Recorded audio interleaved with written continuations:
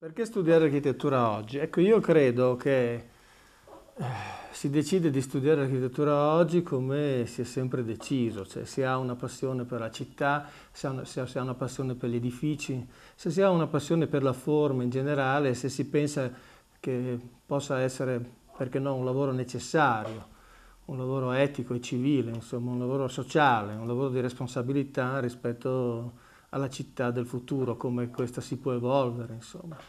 E io credo che come sempre, per usare una, una grande sintesi, eh, come diceva Adolf Loos, l'architetto è un muratore che ha studiato il latino. Ecco, questa mi sembra, io credo, una sintesi più bella di questo mestiere, insomma. Cioè, una persona che sa costruire, ma sa anche perché costruisce.